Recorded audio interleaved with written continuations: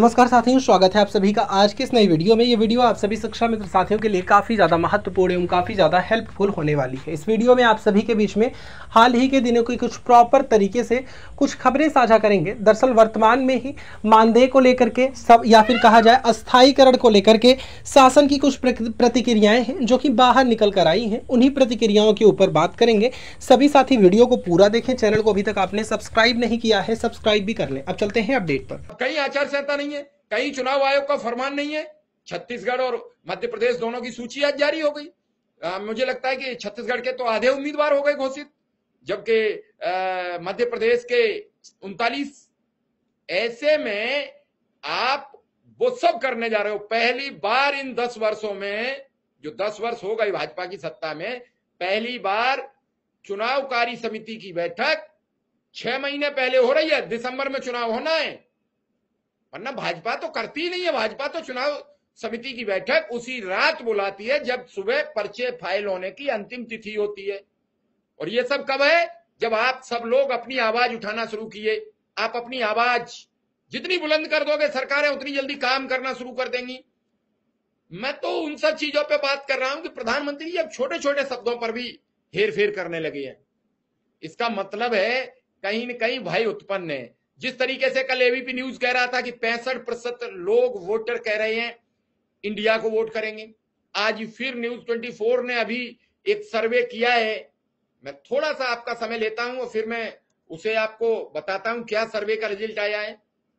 News 24 ने एक सर्वे किया है कि सरकार को लेकर एक सवाल किया है लोगों से, आम जनमानस से, और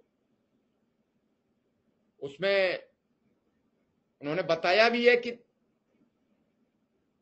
मैं कहूँगा, अरुण से जरा देख के बताएँ तो क्या है उसका परिणाम?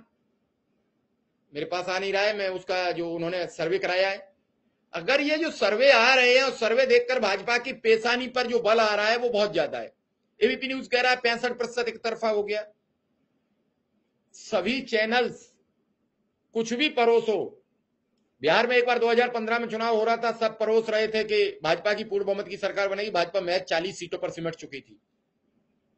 मेरी बात लोगों से होती थी। मैं लोगों से कहता था कि इस बार मामला और तरीके का है। पिछले चुनाव में भी मैंने उत्तर प्रदेश में कहा कि मामला बहुत कांटे का, इसलिए है कि समाजवादी पार्टी पैंतीस प्रतिशत वोट पाएगी। समाजवादी पार्टी तो पैंतीस प्रतिशत वोट पा गई, लेकिन हमारे साथ बैठे सभी संगठन हम ही को मूर्ख बनाते रहे। अरे, हमें क्यों बनाते रहे? आज आप बने बैठे हो।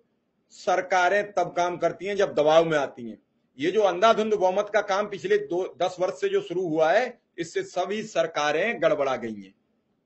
आप देख रहे हैं, कर्नाटक की आज एक बड़ी खबर आ रही थी, आदरणीय त्रिपाठी जी को मैं संज्ञान दू कि वहाँ से सुनने में आ रहा है कि आठ बीजेपी के विधायक इस्तीफा देने जा रहे हैं, वो कांग्रेस में सम्मिलित होंगे। भाई, आप जैसा करोगे, वैसा ही सब आपके साथ। और ये अगर खबर बिल्कुल सच साबित होती है, जो भी सूत्रों पर आधारित है तो ये बीजेपी के लिए लोकसभा चुनाव से पहले बड़ा सेटबैक होगा। और ये बड़ा सेटबैक एक पूरी कहानी लिख देगा। जैसे अभी हम आपसे चर्चा करें, हम आप ही से पूछे कि छत्तीसगढ़ में कांग्रेस का क्या रहेगा तो आप बताओगे अभी कि छत्तीसगढ़ में कांग्रेस फ़िलहाल एज बना चुकी है। बीजेपी वहाँ कोई ऐसा चेहरा नहीं दे पाई है। मध्य प्रदेश में भी एज दिख रही है और राजस्थान में जिस तरीके से आज वसुंधरा राज्य सिंधिया को निग्लेक्ट किया है तो वहाँ भी कांग्रेस बढ़त कायम करती दिख रही है। ऐसे में आदरणीय त्रिपाठी जी, सरकारें क्यों नहीं फिर भी नहीं सोच रही कि ये फिर हमें तीन लाख परिवार जाएँगे, पचास लाख वोट यहाँ डिस्टर्ब होगा उत्तर प्रदेश में। शिव कुमार जी, जो सरकार जनता के लिए काम करेगी, उसे जनता विश्वास मत देगी। मैं ईवीएम के बारे में दावा नहीं करता, लेकिन ये हकीकत है, छत्तीसगढ़ में किसानों के लिए काम किया। जब 1500 1600 रुपया किलो धान यूपी में बिक रहा था, यहाँ पे पच्चीस सौ रुपया मिल रहा था। तो निश्चित रूप से इसलिए सरकार बनाए।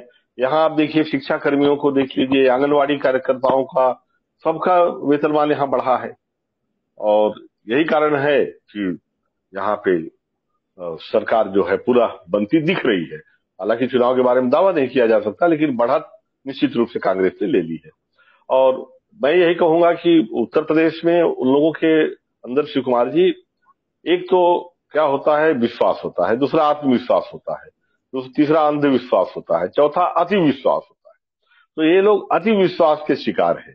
इनको लगता है कि इनका जो फार्मूला है, वो मंदिर मस्जिद वाला, वो आखिरी समय पे उसको भुला लेंगे। तो इसी के कारण गरीबों के साथ अन्याय कर रहे हैं।